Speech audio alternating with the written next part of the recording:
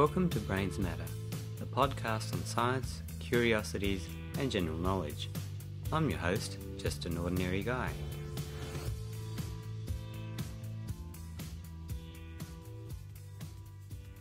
Welcome everyone to another episode of Brains Matter. Did you know the universe was expanding? Of course you did. But did you know some of the details of its expansion, such as the fact that it's actually accelerating? I talked to Dr. Brian Schmidt from the Australian National University about this.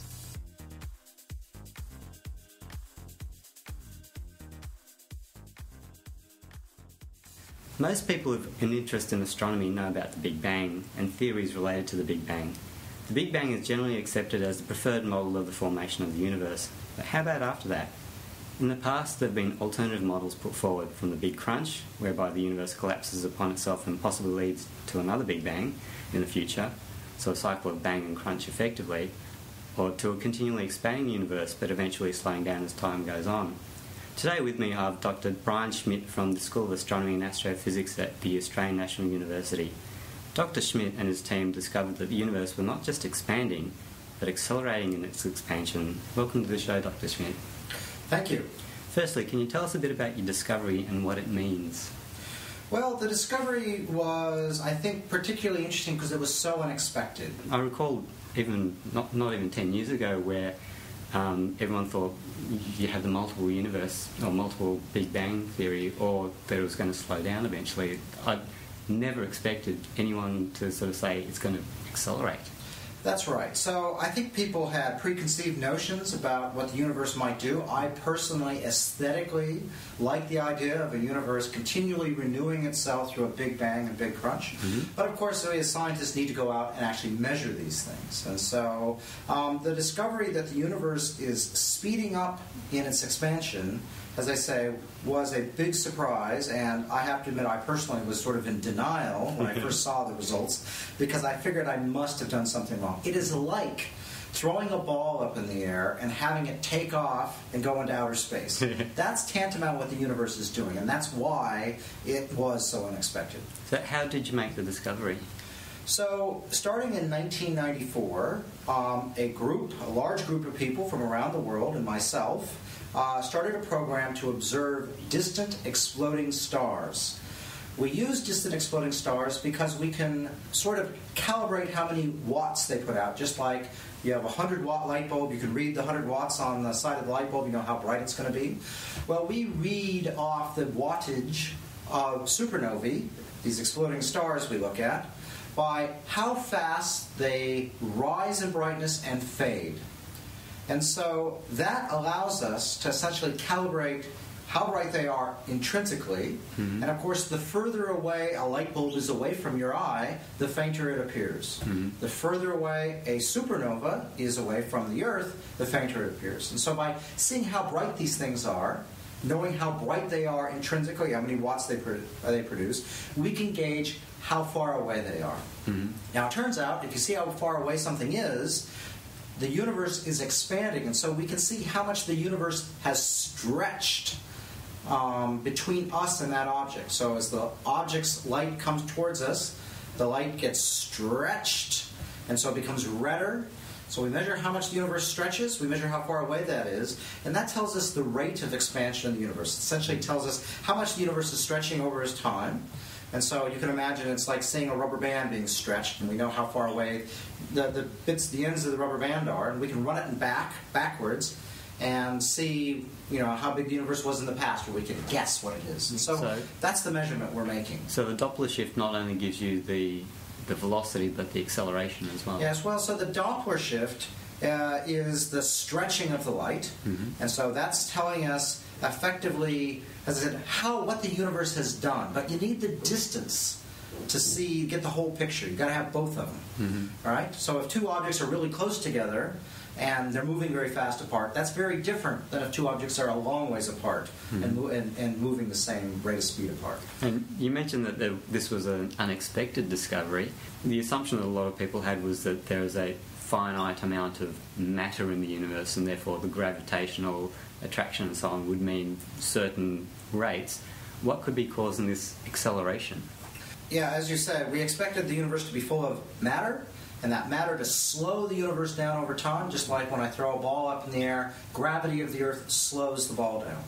So, seeing the ball take off or the universe take off means there has to be something that's really pushing on the universe, that's acting the opposite way to way we think gravity normally works. Well, it turns out that Einstein, back in 1917, invented what we needed. Einstein seems to have invented a lot of things people need, and this is another example. He invented something he calls the cosmological constant. That's mm-hmm. energy that is tied to space itself. Mm-hmm. So as the universe expands, more and more of this dark energy, as we call it now, cosmological constant, is created with the expanding space. So at any given piece of space, there's a constant amount of energy. So as space gets larger, there's more energy. Mm-hmm. Now, according to Einstein's equations of general relativity, which he had sort of finished off in 1916, if you solve for the effect of gravity on this dark energy, that is energy tied to space itself, gravity does not attract this stuff, it pushes it away. So the existence of this stuff would cause the universe to be pushed away from itself and lead to its acceleration. So Einstein invented that in 1917 because he looked at his equations of general relativity and he said, geez, the universe should be contracting or expanding according to my equations. It's clearly not doing that. Mm-hmm. I need to invent something. And he said, oh, actually, my equations are incomplete. I can add this energy to space and it fixes all my problems. In 1929, when it was realized by Hubble that the universe was expanding, he said, that was a mistake. That was a and it was claimed by Gamow to say that was his biggest blunder of his of his lifetime. Mm. Well, Einstein's biggest blunders are my biggest discoveries. Fantastic. With this dark energy, I know there's a lot of consternation about dark matter and dark energy, and the fact that we can't see. How do we know that it is that related to the cosmological constant? Dark energy is problematic because it's wacko, right? It, we're making up energy tied to space and the only easy effect we can see in our universe, because it's it's very thinly spread, but the universe is a big place, so there's a lot of it. But here in our this office, for example, there's very little of it, mm-hmm. and so it's very hard to get your hands on directly. And so the the, the difficult we, difficulty we have is the only effect that we've so far come up with that dark energy has observable in the universe is the acceleration. Mm-hmm. So that means we need to have a theory that somehow takes this stuff and explains it in the bigger picture. And that hasn't happened yet. So, so it's been a problem. Do we have an understanding of where that dark energy exists within the space? Um, so it would be literally the dark energy would be part of space itself. Mm-hmm. So it's often um, referred to as the vacuum energy, mm-hmm. or sometimes it would be referred to as the zero point energy. It just tells you you know, when you think space is empty, it's not empty. It's got this stuff in it. And so it's sort of a property of space itself. That's the idea of Einstein. Mm-hmm. All right? Um, and that's people, probably why it's so difficult for a lot of people to, to, digest because it's not something they can grasp or measure directly. Yeah, that's right. It's, it's impossible to grasp or measure directly because it's tied to space and you can't move it around. You know, you really can't do anything with it. And so it is a problematic thing to measure uh, we're doing our best to measure very accurately what the universe is doing, mm-hmm. and that's maybe our best clue to see if it's what Einstein has suggested, mm-hmm. or what other theorists say, particle um, particle astronomers or particle physicists dream up is that there are particles uh, that have energy and what we would say fields associated with it, and it's that that is providing this uh, dark energy. It's can, you can make it look exactly like the Einstein version of this, and that maybe someday in the future these particles will decay and heat up the universe and make it do who knows what in the future. That's theorists can make up almost any story you want, unfortunately, and that's one of the problems. We don't have a clear theoretical picture of how to deal with this stuff yet. It reminds me of a quote: "Give a theorist a pencil and a piece of paper, and they'll prove anything." Uh, that certainly, and that has been the case here. They have proven everything and nothing at the same time. so I guess the trick for us to learn from the universe is how to harness that dark energy. We now know that the universe is expanding at an accelerating rate. What's that going to mean for us as humans over the, the next you know, few million years as the universe continues to expand at, at an accelerating rate? So the universe is speeding up. And so philosophically, I mean, in terms of what it's going to do to us as humans, it's it's it's you know the the effects are on measured in billions of years, not millions of years. However, it does provide some interesting um, food for thought. The universe that we see, it turns out, as the universe expands faster and faster, the universe, when we say the universe is expanding, it's the creation of space, and that's why earlier I was reluctant to use the word Doppler shift. It's the actual creation of space. And so space can get separated because there's no motion involved faster than the speed of light. Light from galaxies that we observe right now, when we look back at a very distant galaxy, we're looking back in time. Yep. And so the most distant galaxies we see right now were we're, we're looking back in the universe when it was less than a billion years old, or about 12 and a half billion years in the past. Those galaxies, light, because of this acceleration, can no longer reach us. Mm-hmm. So the information from the universe is becoming smaller. Now it's time for listener of the episode, and the listener of the episode for today is Norman Ashbear from Los Angeles in the US. I hope you're enjoying the show, Norman. Now back to Brian.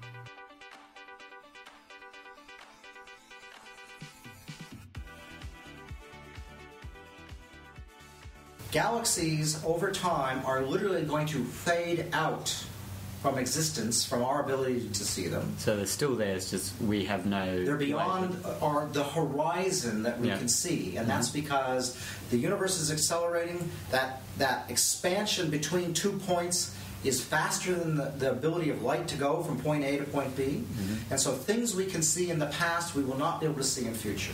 So the the horizon, the the part of space we can see, Gets is smaller. shrinking right now. So you know, as we look forward to time, we will see fewer and fewer galaxies over time.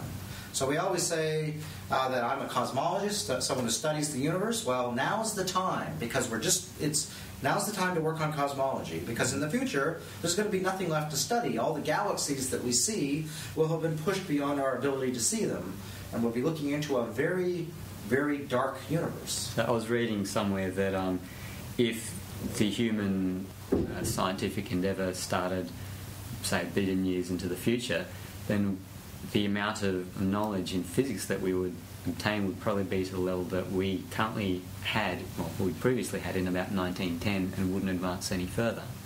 Well, I think, think they're a maybe fair being a little harsh uh, on on things. In a billion years, the universe will be um, more or less look like it does today. There will be fewer galaxies by a lot, uh, but there will still be galaxies in the universe. If you were to go hundred million years in the future, then you'd be looking at a very different universe where cosmology becomes almost impossible. So, a billion years from now, our sun's going to be hotter than it is now. I think we got problems with global warming right now. We got real problems in a billion years uh, because the sun will be sufficiently hot that life on Earth will start becoming very difficult. But other than that, the galaxy will still look the same. Andromeda galaxy will be closer to us, a lot closer, but we will not have yet merged. Mm-hmm. About three billion years from now, we expect those two galaxies to merge and form a big super galaxy. Mm-hmm. Meanwhile, the other galaxies further away will be further away because of the expansion of the universe. Now, one of the things that people get confused about is that the expansion of the universe only affects far reaches of space. It does not affect objects where gravity already has its hold. It doesn't affect our bodies. For example, our atoms are not moving apart Or because something for the, the scale of our solar system. yeah, the solar system is unaffected. Our galaxy is unaffected, and that's because the gravity in these regions has already is keeping space from expanding. Mm-hmm. And so, dark energy, which is gets its hold by the ever increasing size of space, there are becoming more and more of it, never happens in our little region of space. So. Um, we're, we're looking forward in you know three billion years, us merging, forming a big galaxy. A hundred billion years from now, all the galaxies beyond the little group that are going to fall in and make our own super galaxy will have been pushed by the accelerating universe beyond our ability to see it, and we will look out onto a star filled sky of our own super galaxy into an empty void where it's impossible to do any cosmology because there's nothing to look at. So if we look up into the sky now and we see the, the Milky Way in a band across the sky, and then we obviously see other stars elsewhere in that point in time in the future, we'll just see that band. Well, it probably won't even be a band because the Milky Way, which is right now a flat pizza-like disk, It'll probably become a it's going to become a big puffed-up galaxy, and so it'll probably be a, a, sky full of stars, you know, and then just no galaxies beyond that. Of course, galaxies are very hard to see with your eye, uh, but uh, with telescopes, there's millions of them Yeah. every place we look, and those will just be gone. So we've got the double effect there. We've got the expansion of the universe with galaxies shifting apart from each other anyway, and then the acceleration of the space between them. And we're in a bit of trouble with the observation side of things. That's right. There, as I said, you've got to have something to look at to do cosmology, and there will be nothing. There'll be no gas. There will be no information from a long time ago. It'll just be a very depressing, stale place to be a cosmologist, but a good time to be a stellar astronomer, so to study stars. So what's on the, the future for um, your area of research in, in cosmology? So, I think that uh, dark energy, lots of work is going on dark energy, and what we're trying to do is to very accurately pin down um, how fast the universe is expanding over time, and do that very accurately. So, the supernovae, the exploding stars I use, are one way to do that. And here in Australia, we have a new telescope called SkyMapper, which is going to find hundreds, if not thousands, of supernovae in the very nearby universe because it turns out it's very difficult because supernovae are very rare to see them, lots of them, because they're, they're, they're rare objects. And so in the nearby universe, we have 50 objects. In the very high redshift universe, where we can see lots of galaxies in each picture we take, uh, we have literally a thousand objects at high redshift, at, at high, large distance. And so by building up the nearby number of objects, we'll be able to make the measurement of the acceleration even more accurate because it's actually limited right now by not enough objects nearby. So that's one thing we're doing. Another thing that's happening here in Australia and in the US uh, is to go through and look at what are basically waves of, of in the universe. These are waves that were uh, created right after the Big Bang, and we can see them in the thing we call the cosmic microwave background, which is this relic of the Big Bang when the universe was glowing like the sun. Except for because the universe is stretched so much, these now instead of being cooled down. optical, it's down in the microwaves, about the same as what you would heat your lunch up with. And uh, at that time, there are these waves which have a size which is equal approximately to the age of the universe times the speed of light, Yeah. divided by the square root of three. So, uh, because they're, they're waves traveling in matter, so they don't travel quite at the speed of light. Now, we can see those waves today, and that tells you very accurately a yardstick that we can see today. And we can measure how big that yardstick is now. We can see it 5 billion years ago, and we can look all the way back to the time right after the Big Bang and compare that yardstick in time. And so that's something known as the baryon acoustic oscillations. A very popular technique being done, as I said, here in Australia in a big program, and also in the US uh, by a group using the Sloan Digital Sky Survey Telescope. Uh, and they're- that's a five year project. So I see those being the big dark energy things. But I think cosmology itself is going to, in this decade, have the chance, beyond dark energy, to look back to when the first stars and galaxies formed. So right now we can just barely tell what's going on, but I think there are going to be new telescopes and new projects where we can literally going to be able to see the first stars turn on, and we'll say there we'll actually watch the birth of the universe. And that's one of the neat things you can do is you can travel in time as an astronomer. Hmm. Turns out you can only go backwards, you can't go forwards, which is probably just as well. but by looking back at more and more distant objects, we can look back in time. And we think that about maybe 200 million to 800 million years after the Big Bang, the first stars and galaxies started to form. And we're looking in radio, where we can see the gas. We're looking at optical, where we can see the light of stars. And I think that that, in the next decade, is really going to give us some ideas of how you know, it all started all those years ago. It sounds very exciting. Yeah, I'm looking forward to it. Just on a final note, we've talked about the dark energy. What is the relationship between dark energy and dark matter? So, dark energy and dark matter, uh, a lot of people would like them to be related because we look out in the universe and we say the number of atoms in the universe accounts for about 4% of the universe. Mm-hmm. Now, we understand atoms really well. Then we have to say eh, maybe 23% of the universe is dark matter. What's dark matter? It's stuff that has gravity just like atoms, but it is it just probably passes right through the Earth and is probably an unknown, uh, yet to be discovered particle. Mm-hmm. A lot like the neutrino, just more massive. That's our best guess. Dark energy is this energy tied to space. So some people would be great. We have these two mysterious things we're having to make up dark matter, an unknown particle, dark energy, an unknown energy tied to space. And it would be wonderful if people could come up with a theory to kill two birds with one stone.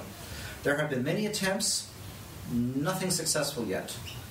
So I, I, hope that a theorist will come up with a way to connect those. Hasn't happened. So there's no reason they have to be connected. But it is rather sad that we have this very complicated picture of the universe being made up of three things, of which our part is one, is one and only 4% of the universe. Mm. And we're having to make up 96% of the universe as being things we don't know dark matter and dark energy. Yeah, there's an opportunity for any keen listeners out there to who want to go into the research side of things. Dr. Schmidt, I'd like to thank you very much for your time today. And that was the time travelling Dr. Brian Schmidt, who's in the perfect cosmological time in the universe's life. He's a Federation Fellow at the Australian National University's Mount Stromlo Observatory, and he received his PhD from Harvard University in 1993. Thank you. Thank you very much.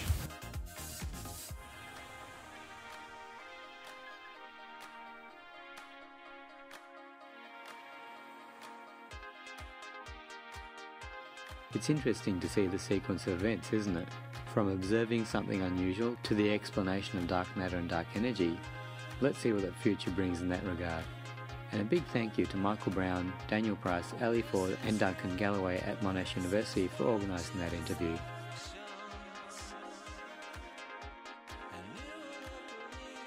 Now for some listener feedback. Alan Sternquist wrote in and said, I've been listening to podcasts for about six months. I discovered it by chance on a technology podcast website. I was looking for the Tech Guy, aka Leo Laporte, podcast. Leo is local to the San Francisco Bay Area where I live.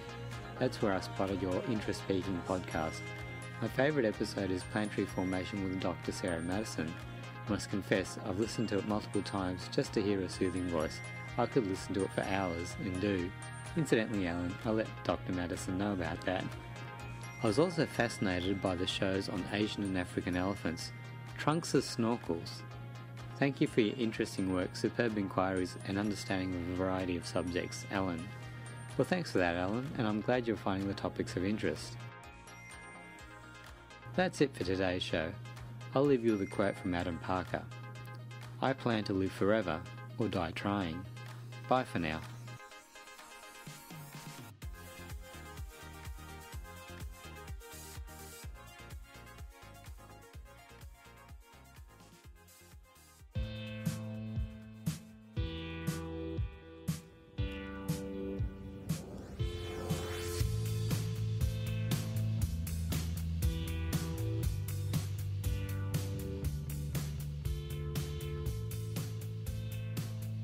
For listening to the show.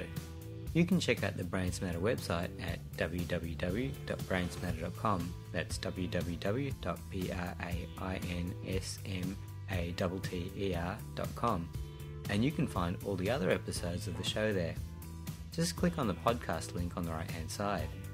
You can listen to the episodes from your browser by choosing Flash Player from the links and selecting whichever episode you want to hear from within the player.